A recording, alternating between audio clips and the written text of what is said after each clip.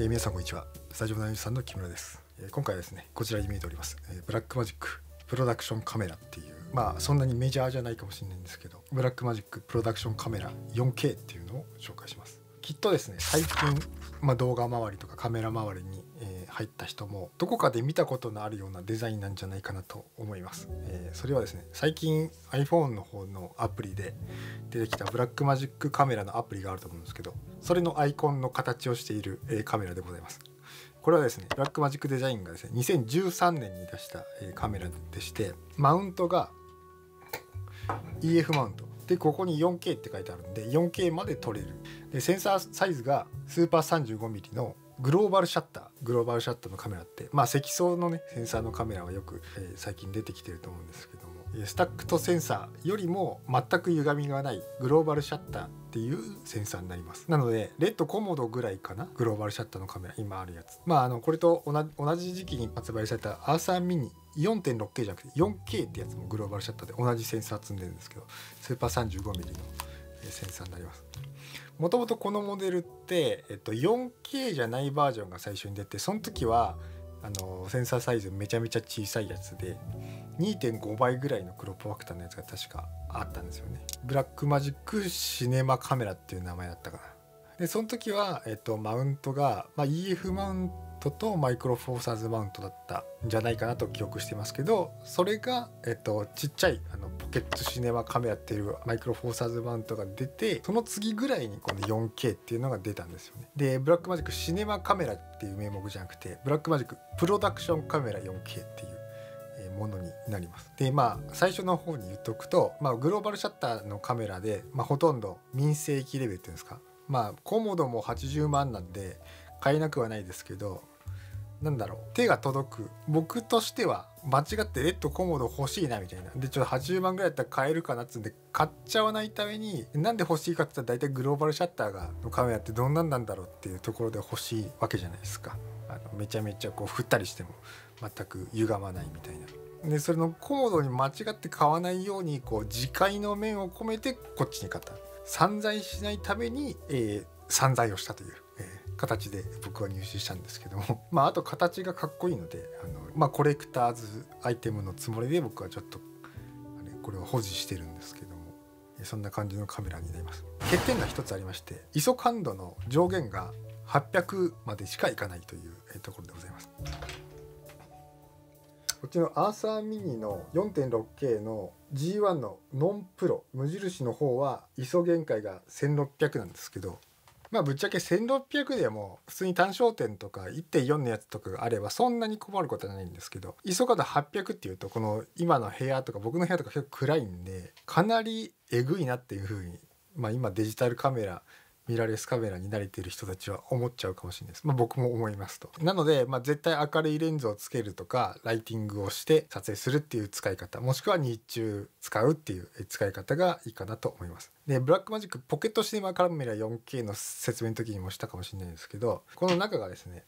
IR フィルターが入ってるんだけど弱いんですよねフィルター除去除去効果っていうんですか弱いんで日中昼間外で撮る時は ND つけるとしたら結構あのまた IR ポリューション問題っていうのが出てきちゃうんですけど。でまあそういう暗いっていうのとそういうまあ ISO 感度が800までしかいかないっていうところとでまたそのそもそもノイズも多いセンサーなんですよね。そのデメリットはあるんですけどでもグローバルシャッターだからワクワクするっていうのと形かっこいいなっていうところですね。個人的にはこっちの方こういうあの Mac みたいな昔のアップルみたいな形の方が好きなんでまたこういうの出してくれないかっていう まあ実用性は結構あのよくないです。あのはっきり言ってこう全然持ちにくいんで。持ちにくいです、はい、デザイン優先で作ったのかなっていう感じなんですけど。でもかっこいいですよね。この形。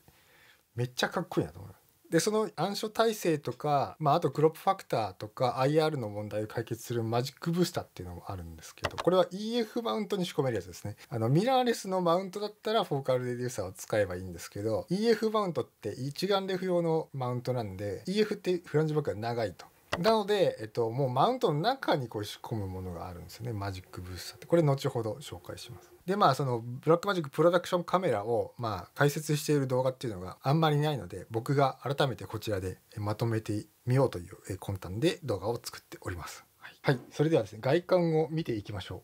まあこんな感じのあのなんていうんですかね、えー、筐体になります。Mac みたいな、えー、Apple のような個体になります。iPhone がこのぐらいのサイズなんで、えー、iPhone が4つぐらい。厚さがこういう台形なんですよね。この形感もかなり僕は好きかなって思います。でまあディスプレイもちょっとでかい。これも5インチあるのかな？5インチあるのかぐらいありそうですね。結構縦長で。でこのまま電源はつくんですけどあのファンがここに入っててここ通気口があるんで電源入れるとファン回るんですよね。で底面はまあこんな感じで、まあ、4分の1電磁穴があって通気口があるような感じ。でここのファンはね実はね交換できるんですよ。壊れたりしたら。でバッテリーとかも内蔵で入ってるんですけどえっとまあポケットシネマカメラ 4K とか 6K とかと比べれば、えー、まあ持つ印象。ただもうここに実は50%っていうふうになってつけた途端に75%が50%になったんで、まあ、ほとんどあのバッテリーは持たない。ただ内蔵のバッテリーで交換はできないバッテリーで外部電源供給から基本的に使って、え使用するんですけど内蔵バッテリーの交換自体も分解とかすればできるっていう感じです、ね。でここになんと SSD が入る。SATA2.5 インチの SSD がここに直で挿して入るっていうこのなんて新しさ。まあ古いんですけどまあ RAW が撮れるカメラ最初からそういうコンセプトだったんで SSD で収録するっていう感じなんですよね。で上部がですねあのネックストラップをつけるこういう溝がついてるのとあの4分の1ネジ穴が3つ3連でついてます。はい。でちなみにサイドがあの上から行くとこれはリモートリリースの穴ですね。でここがヘッドホンジャック。3.5mm のヘッドホンジャック。でオーディオインが 2K と LINE なんですけどこれは 6.5mm のマイク入力の LINE なんであの普通の例えばビデオガンマイクを挿した時に 3.5mm のだったりすると思うんです。もしくは XLR 端子だと思うんですけど変換が必要っていうことになります。でなんと外部出力映像出力端子が SDI ということで、え長く伸ばせる SDI 端子になっております。でもうほとんど使わないであろう昔の Mac のサンダーボルトの形状のやつがであったんでこれであのアップデートとかしてたんですよね。でこれが 12V のパワーデリバリーですね。外部で電源供給なんでこれは ACDC のこういうピンですか？であの入力します。これはですねあのモニターとかよくこういうこのジャックだと思うんでケーブルはね入手しやすいと思うんで。でボタン類いきますけどもここにレックボタンがあります。でぐるっと後ろ向くとボタン類が左にアイリスボタン絞りオート絞りボタン。で右が一応フォーカスワンプッシュフォーカス用のボタン。で左からレックボタンとこれがプレイバック用のえメニューコントロール。もしくは絞りコントロール用のコントロールですね。でメニューがあって電源ボタンがあります。で今電源ボタンを押しちゃったんで、えー、せっかくなのでレンズも、え EF マウントなのでつけてですね。ちょっと軽く撮影していきます。この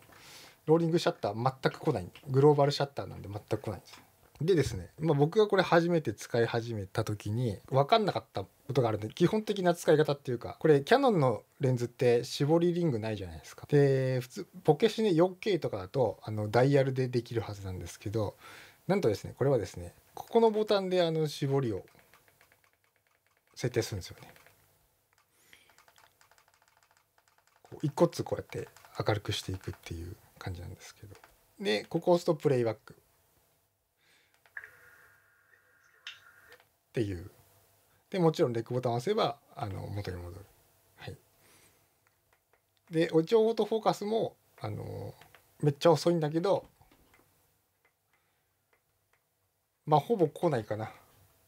そうですねほぼ来ない難しいですね。ワンプッシュ一応作動させることはできるけどほぼ来ないって感じですかね。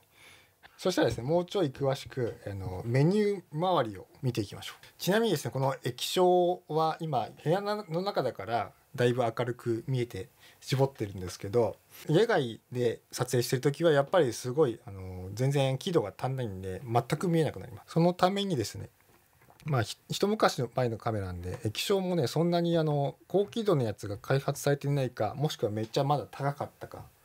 ていうところだと思います。でこんな感じでサンシェードをつけることであの野外での視認性も担保でされる感じになります。それでは UI 周り見ていきましょう。まず、えー、メニューを開くとまあ、メタデータって項目があります。ちなみにタッチ操作です。だこれ懐かしい UI だなっていうふうに思う人は思うと思います。僕もあのこれはプルポケットシネマカメラのやつと似てるんであちょっと懐かしいなっていうふうに思うんですけど、まあ、あんまり僕はこれ使わないんですよね。で戻るとまずフォーカスピーキングのオンオフがあります。フォーカスピーキングっていうのは今オンになってると今緑のやつが見えてるかと思うんですけど、えー、これはフォーカス当てるところにピーキング。まあオンオフ。あとメーターっていうのも今メーターオフなんですけどオーディオメーターとヒストグラムですね。それのオンオフができるってことですね。フレームガイドもオンにするとこういうサードのフレームガイドとかができます。であとはフォーマット。でセッティングのところが大体主に使うところかと思うんですけどまあ結構時刻の設定とかをあの一番上に来てるのはこれ実はあの内部にタイマーがないんですよね。なので毎回毎回リセットされてるっていうか2000年の11月1日になってるんであの、まあ、僕はあんまり設定しないです趣味に使ってるだけなんで。あとは ISO 感度が、えー、200から800200と400と800しかない、えー、要するにシングル ISO 感度です、あの400のフィルムが入っていると思った方がいいと思います。1, 1あの増刊はカメラ内での増刊は1段玄関も1段みたいな。はい、で色温度もこんな感じで、えー、単純に、えー、数値で設定するのみとなります。でシャッターアングルなんですよね。はい、だいたい180にすると思うんですけど 24p で撮影する場合はフリッカーを除去するのがその100分の1分100分の1秒に相当するのが172.8度ってやつなんでだいたいこれが基本の設定でやってます。でマイクの設定が、まあ、インプットのマイクロフォンどのぐらいの原因にしますかっていうのまあこれヘッドホンジャックって聞きながら原因は調整すればいいと思うんですけど、まあ、スピーカーのボリュームと、えー、がありますよって感じですね。まあ、 REC のコントロールがこう RAW とまあこれも本当単純な UI だと思います。もういろんな複雑な機能が入ってないので。 ProRes か422か LT かプロキシか RAW が選べる。でレゾリューションは RAW の時は 4K しかできませんので 3840×2160 じゃなくてやっぱ横長なんで 4000×2160 っていうのが RAW のレゾリューション。で ProRes の時だけフル HD と切り替えられる感じですね。っていうのは UI ですね。で、ダイナミックレンジも、まあ基本的に僕はフィルムで使ってるんですけど、 ProRes にした時はビデオのダイナミックレンジも選ぶことができますって感じです、ね。だから、最悪 H264 みたいに長回しで使いたいってなったら、こう、プロキシとかにしちゃって、フル HD にしちゃって、1テラまで回るから、ビデオで回るから、そういう使い方もできなくはないという形ですね。でもまあ、 RAW で撮るのが楽しいので、 RAW で撮るっていうところですまあ、タイムラプス機能も、あの、ポケットシネマカメラオージオと一緒でついてます。まあ、ディスプレイのダイナミックレンジもあの選べますよっていうことと、まあ、あとディスプレイのブライトネスも選べるしゼブラとかもねで SDI の出力の設定もありますね。でフレームガイドも、えー、シネスコ用の、えー、フレームガイドをつけたりとかも一通りの4対3とかも使うんじゃないか、えー、そういうのがあります。まあ、あとはそのガイドの、えーと、トランスパレンシーですね。フレームガイドをつけた時のあのこのどのぐらい透かすかみたいなやつがここで選べます。はい、まあ、あと外部出力の時の何を表示させるかっていうところもあの一応切り替えることができます。だから4つしかないんですよね項目が。すごい使いやすいなと思います。この機能がやっぱり限定されてるんではい、それではですね、僕が今やってるケージングっていうんですか、外部アタッチメントどういう風につけてるかっていうのをちょっとつけながら解説したいと思います。で、大体あの僕はあのケージこれあのもう付属のケージとか売ってないっていうか、売ってたとしてもめっちゃ高いんですよ。ねプロダクションカメラ用、またはあの最初期のブラックマジックシネマカメラ用のものは。えー、なので、こんな感じのチーズプレートをですね4分の1ネジでしかもこのネジも汎用のネジですね。何でも使えるようなあのネジだけで買ったやつで、まあ、せっかく3つあるので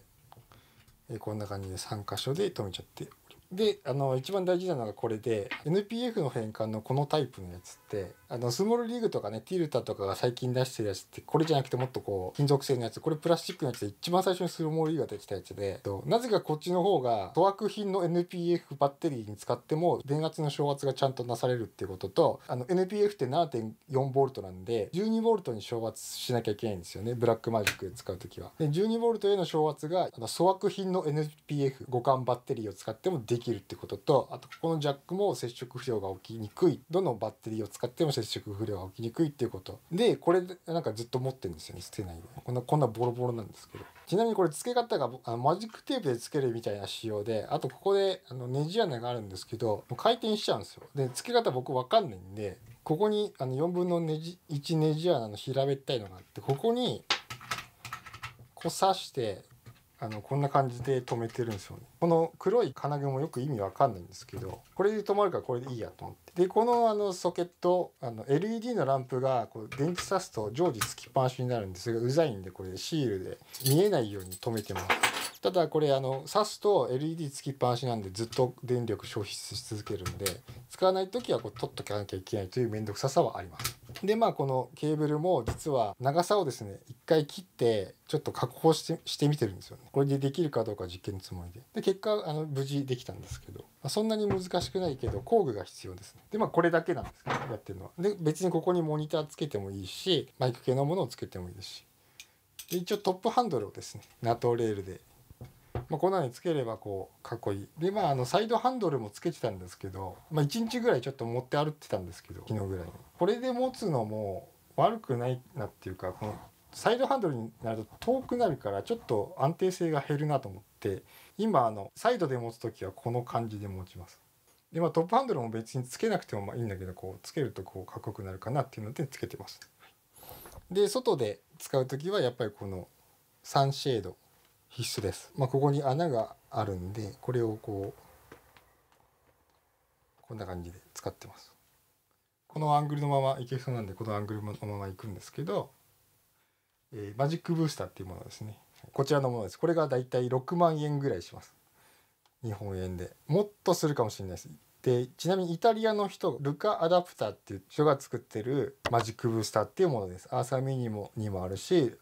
6K とかにも使えるものがあります。でこれあの先に言っとくとこれはあのフォーカルレデューサーなわけなんですけど APS-C の場合は1.3倍のクロップファクターに変更することができる。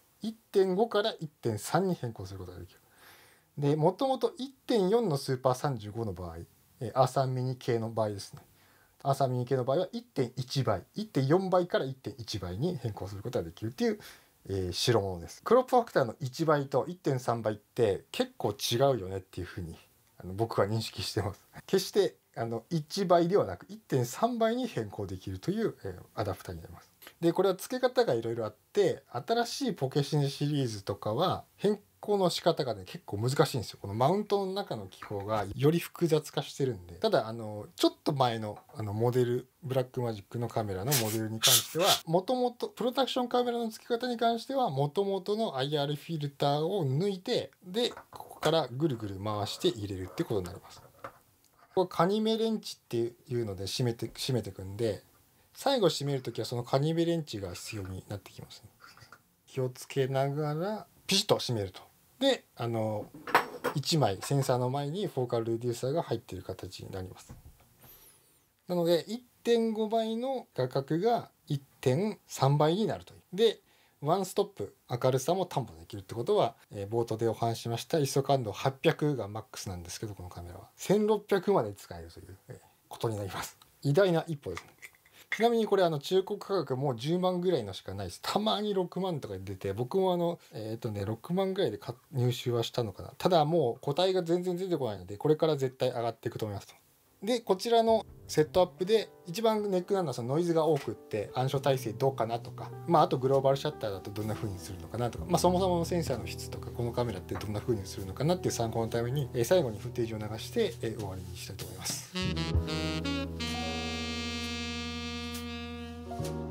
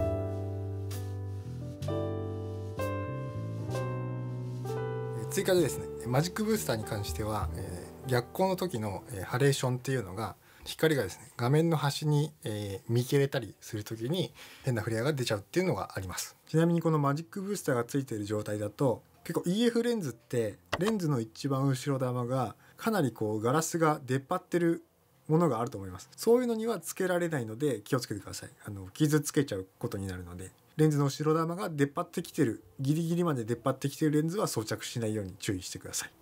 それからですねダイナミックレンジに関してはやっぱりあのセンサーが違うせいかポッケシネ 4K とか 6K とかよりもダイナミックレンジはちょっと狭いんじゃないかなっていうふうに思うことの方が多いですね、はい、ちょっとあのハイライトがちょっと飛びやすいんじゃないかっていうふうに思います、はい、はい、いかがでしたでしょうか？僕の大のお気に入りのカメラグローバルシャッターがついてるめっちゃかっこいいデザインのカメラ。ブラックマジックプロダクションカメラ。4K の紹介でございました。ま多分あの何ていうんですかね。紹介する人がいないと思うんで、えー、こちらの動画でですねまアーカイブ的にですね、えー、参照していただけると、えー、入手する時とかね使う時に、えー、いいんじゃないかと思って作りました、はい。えー、こちらのチャンネルではアートライフミュージックのテーマで動画をお送りしております。グッドボタンチャンネル登録よろしくお願いします。本日の撮影カメラなんですけども前回の動画で、えー、紹介しました初心者におすすめブラックマジックポケットシネマカメラ 4K でございました、まあ、こういう時にね、えー、いろいろ使いやすい、えー、カメラだと思います。何型ですね、1個あると使いやすいカメラだと思います、はい、それではまた。